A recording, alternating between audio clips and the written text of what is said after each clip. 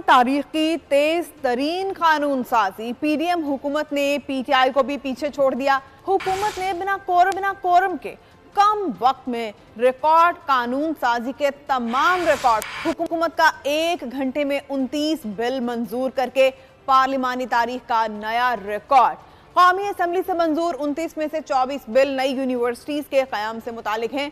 कौमी असम्बली ने एक ही दिन में 24 यूनिवर्सिटीज के क्याम के बिल मंजूर कर लिए। नई यूनिवर्सिटियों के क्याम से मुतक 18 बिल आज पेश करके मंजूर भी कर लिए गए।